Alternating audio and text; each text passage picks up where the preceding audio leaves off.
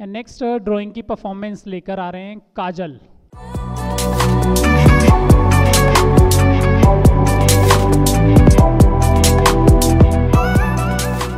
ਮੈਨੂੰ ਭੰਗੜਾ ਪਾਉਣਾ ਬਹੁਤ ਵਧੀਆ ਲੱਗਦਾ ਸੀ ਪਰ ਮੈਨੂੰ ਕੋਈ ਵਧੀਆ ਪਲੇਟਫਾਰਮ ਨਹੀਂ ਮਿਲਦਾ ਸੀ